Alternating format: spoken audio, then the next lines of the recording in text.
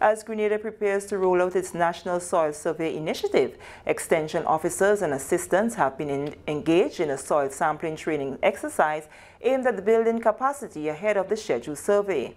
The Grenada Soil Survey exercise will run from 27 March 2023 to April 14, 2023. This initiative forms part of the Soil Care Project. Under this project, a number of sites have been identified for soil sampling. Les Avocats in St. David, Chambord in St. Patrick, and three sites in Carriacou.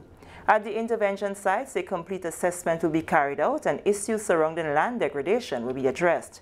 National Soil Care Focal Point Alison Haynes explains the essence of the soil survey. We want to do some assessment, assess the area before we implement whatever sustainable practices that we are um, under the project. So we're going to do an assessment now, a complete assessment of the area, looking at the land, looking at some key indicators for land degradation. Here now, we're going to implement the practices or whatever we're going to implement. And then in a few years from now, we're going to come back and do a similar assessment and evaluate whether the measures that was undertaken here was effective.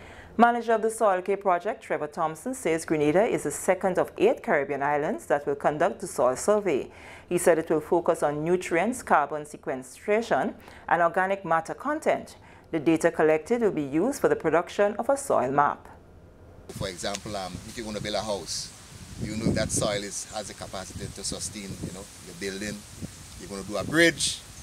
Um, you know, if the government going to do a playing field, you know, um, is it a soil that is susceptible to land slippage, subsidence, etc.? So all of those information we will have. We're actually going to do some work to see what um, what are some of the, the, the, the, the remedial actions we could take to address the land degradation. Soil scientist and training facilitator Ronan Francis says the training is important for the extension officers' effectiveness in conducting the survey for you as the persons going out and meeting and interacting with the farmers especially and other land stakeholders it's important to understand the living body that we are walking on and making use of and understanding its dynamics.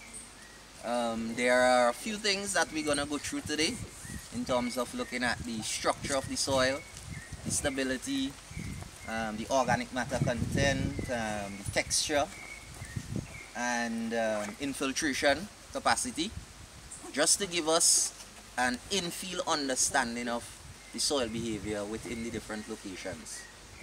Um, in this intervention site, um, what we want to do is try to just assess based on the vegetation, especially the land cover that is here, um, the different dynamics of the soils in one or two other locations. 150 soil samples are expected to be collected island-wide, 110 in Grenada and 40 in Carriacou.